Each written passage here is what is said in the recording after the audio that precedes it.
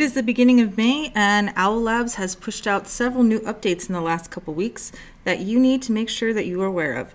Remember, it is very important that you keep your OWL updated so that it continues to run smoothly along with your Zoom meetings. First update that you'll want to do is going to be the Meeting Owl app update from self-service on your teacher iPad. You'll click on reinstall and it'll pull down the latest version of the app. Using a personal device is not required, but if you are using a personal phone or iPad, you may need to go into that app store and run the update from there.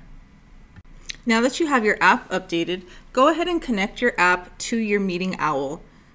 Then you'll be able to go to About and whatever you named your owl and scroll down to the section that says Version.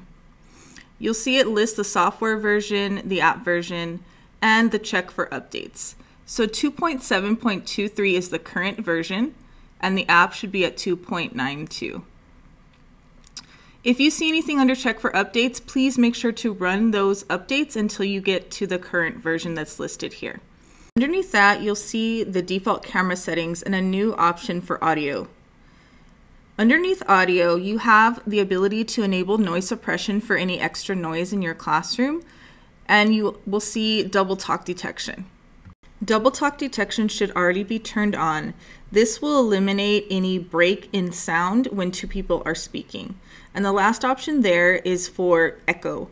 This applies mostly to students that are virtual and might hear echo coming from your classroom. If your students at home are hearing echo, this would be a setting that you want to go in and turn up. So you would press the plus button to raise the number to five or six and then test out your sound. Once you have the OWL software updated, there is going to be a feature that was once only accessible from the app available directly to you from the options button on your OWL. The option button will now turn on and off your presenter enhance feature, which will allow it to better track you when you move around your classroom. A few other enhancements and bug fixes to make note of involve the graininess you might see from your owl, so that has been improved, as well as the color that is coming from that camera. Presenter Enhance will also no longer be as jumpy as it was before, so that is something to look out for as well. For any questions involving these updates or help with your Meeting Owl Pro, please be sure to contact your instructional technology specialist.